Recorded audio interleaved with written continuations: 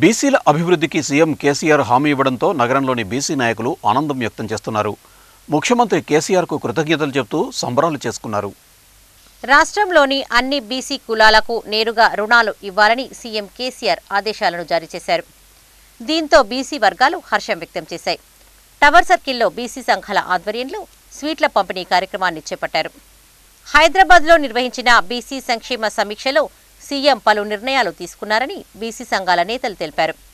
బ్యాంకులతో సంబంధం లేకుండా ప్రతి ఏటా డెబ్బై వేల బీసీ కుటుంబాలకు రెండు లక్షల వరకు రుణాలను అందజేస్తామని ప్రకటించడం ఆనందంగా ఉందన్నారు రాష్ట్ర బీసీ సంక్షేమ సంఘం ప్రధాన కార్యదర్శి కేశిపెద్ది శ్రీధర్రాజు ప్రతి పేద బీసీ కుటుంబాన్ని ఆర్థికంగా ఆదుకోవడం వారి కుటుంబాల్లో వెలుగులు నింపడమేనన్నారు.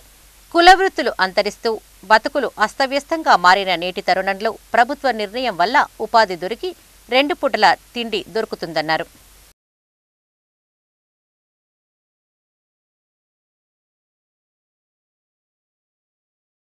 బీసీల అభివృద్ధి కోసం అన్ని కులాలను ఇప్పటికే కొన్ని కులాలకు కొన్ని అభివృద్ధి పథకాలు సూచించినట్లు తెలిపింది. అదేవిధంగా ముఖ్యంగా ఏంటంటే విశ్వకర్మలు కూడా ఈరోజు వాళ్ళ అనేక జీవన విధానంలో అనేక మార్పులు జరుగుతున్నాయని చెప్పేసి వారికి కూడా ఒక ప్రణాళిక ఈరోజు రుణాలకు బ్యాంకులకు సంబంధం లేకుండా కేవలం డైరెక్ట్ బీసీ కార్పొరేషన్ కానీ ఎంబీసీ కార్పొరేషన్ ద్వారా రుణాలు ఇవ్వాలని చెప్పేసి ప్రభుత్వం ఆదేశించి వచ్చే నెల నుండి ప్రతి సంవత్సరం డెబ్బై నుంచి వెళ్ళి ఎనభై వేల కుటుంబాలకు ఎలాంటి రుణాలు రుణాలను బ్యాంకులకు సంబంధం లేకుండా చేయడం జరుగుతుందని చెప్పేసి నిన్న ముఖ్యమంత్రి గారు ప్రకటించడం.